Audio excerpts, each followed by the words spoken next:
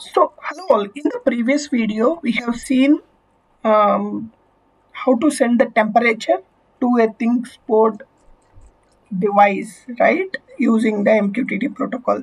Now, we have a DHT11 sensor and we are going to send temperature as well as humidity. So, we are adding the humidity uh, value as well. So, for that, you can see uh, previously we read the temperature using the inbuilt function um, and then um, now we are using another method read humidity of which reads the humidity value. So these are part of the uh, DHT11 um, libraries which you install.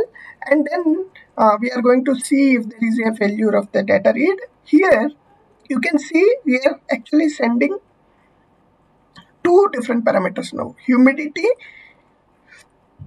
which is uh, adding up h and then each parameter separated by a comma and then as in the previous video we are sending the temperature.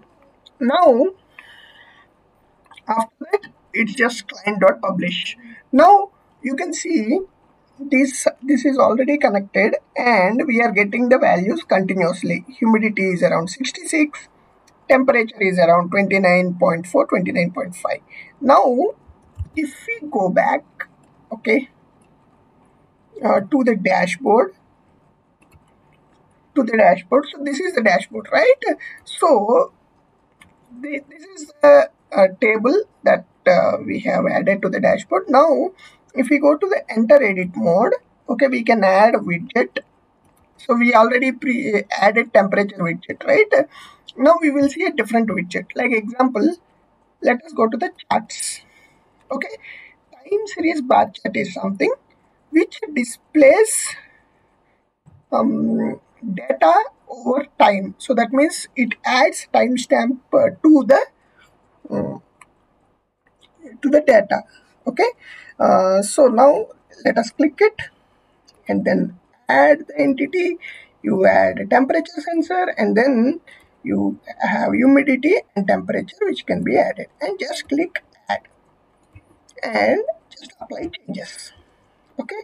Now you can see there is a timestamp. We are sending around 1030 10 for every 5 seconds there is a data. Um, the you might not be able to see below so we just reduce it. Okay?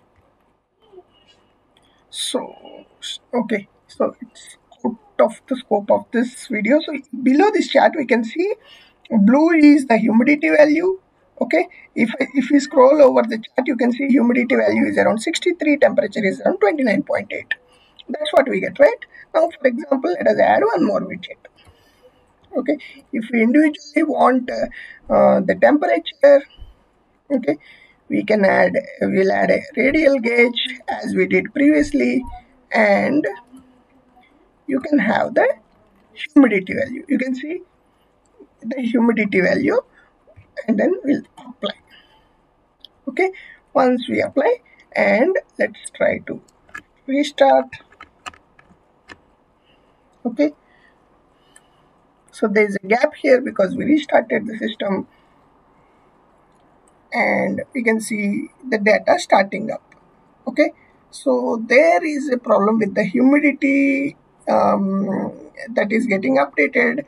Yeah you can see it got updated see?